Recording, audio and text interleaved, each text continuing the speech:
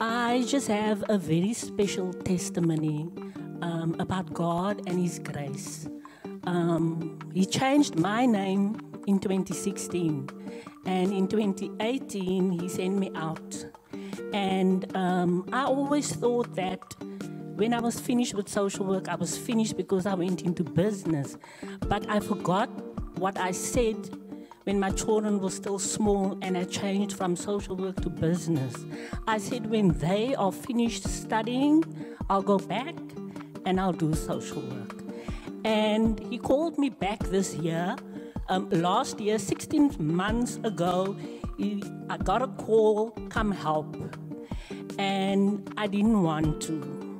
My first thing was no, no ways. I'm not going in there.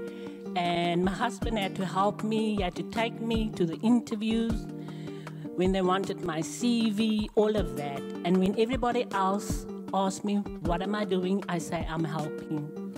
But that was my power weapon, helping. I didn't go in there knowing everyone and knowing everything and even being qualified because I was no longer registered. But God when I stepped in there, um, we think that when God says we are the kingdom, that we expect everybody else to know what that means. But I saw how God came through me. I had to put myself aside every day and say, not Annie, but God. When I had to step into the meetings to fight for the children whose lives were wrapped around a religious spirit and get them out of that jaws. And at the end of June, um, this children's home where I work, they decided they're going to close doors because they wouldn't listen to God. Religion was more important than Jesus.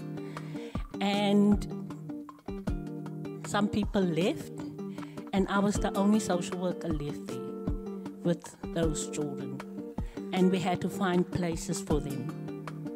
So, in the last two weeks of this month, I saw how God came miraculously through.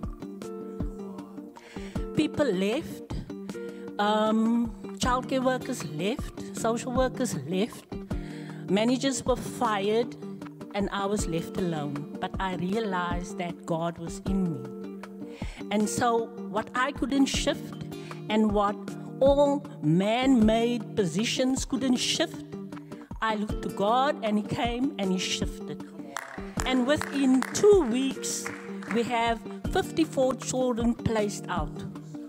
Half to families who didn't just say that they want their children back, but walk the walk with Jesus. Those children that believed when Annie said, just pray. God knows you, He knows your name. See in Psalm 139, He's created you. Those children went back to their families. The others that had no family wanting to come up for them, they were placed in the best institutions where they could get the educational help that they needed because a lot of those children are really challenged educationally. And then, of course, put in families, in small institutions. And on Friday morning, I still had 26 children. And when I walked in there, there was no childcare worker. They all left. And I just went into my little closet and I said, Jesus, your angels are more powerful. And he gave me favor with the top people in social development that I could WhatsApp, I could call, I could email, and the children would move. And by the end of the day, quarter to nine, two little ones that the social worker just refused to come and fetch were picked up and they were taken to their destination. And this is all just God. My main word for you today is don't underestimate where God placed you. Don't worry about qualification. Don't worry about your age because the God in you is bigger and He wants to use you. All He wants is when I would get up, I would just say, Yes, Jesus. That's all he needs. He does everything. He sends his angels, he gives you favor. When I put up my hand and I say, Annie, Annie is who? Nobody. People just, you can see, they, oh, Annie, no. But I could shift mountains.